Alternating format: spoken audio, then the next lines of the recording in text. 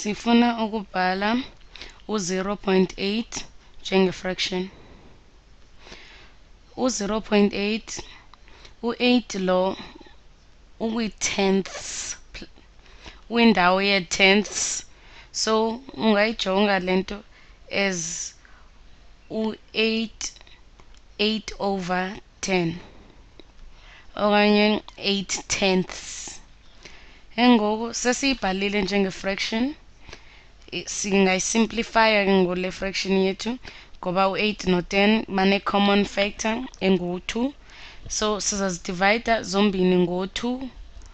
sifumane bani ithetha uba u-8 u-8 lo xa simdivayida ngo-2 usinika u-4 u-10 xa simdivayida ngo-2 ngo-5 ithetha uba sigqibile u-0.8 uyafana no-4 over 5